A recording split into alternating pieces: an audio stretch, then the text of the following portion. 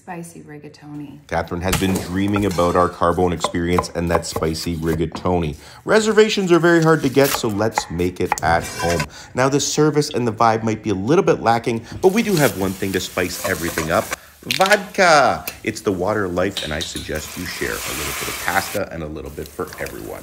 Here come the pro tips. Reduce your tomato by half before you add your cream, and then add your pasta a little extra al dente and simmer in the sauce with pasta water for three or four minutes. Kill the heat, add the parm, and toss until sexy. Mm.